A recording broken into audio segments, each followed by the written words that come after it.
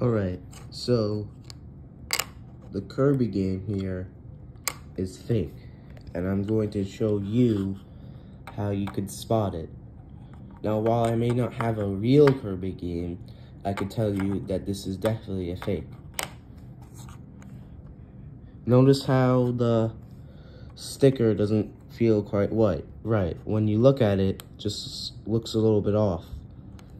Well, if you look at the font here, you can see it's different from an official uh, DS uh, cart. And when you flip it over, it says AMCE. So that's how you can tell your DS games are fake. Continue, I also have a real DS cart here. This is the fake.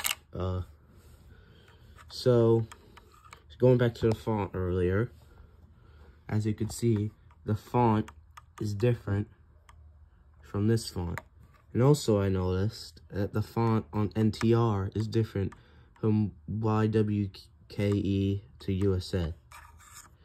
Also, notice how Heart Gold is more black, but this is more gray. And also, as I said earlier, AMCE, it's using a Mario Kart shell. And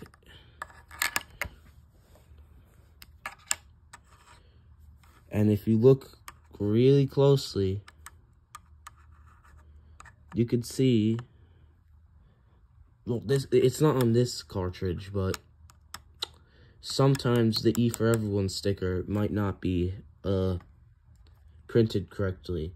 And uh, the game will just be printed off a thing. So this is how you could tell your game is fake.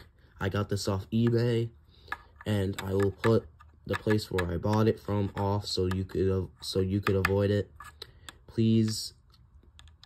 It, um, it also said it came with a case, this game, but never came with a case, so so yeah, just one quick look at it again. So, uh, uh, yeah, font, sticker. You also check the top too. It has a little rectangle in the back. And here's the real game. Font. For heart gold, you can just shine it in a light and it uh shines purple. Uh, and the back, you can barely see it, but it says IPKE. Another thing I forgot to mention is that the the text on the back will be hard to see because the game's so old that after years of putting taking it in and out DS, it will uh it will start to fade.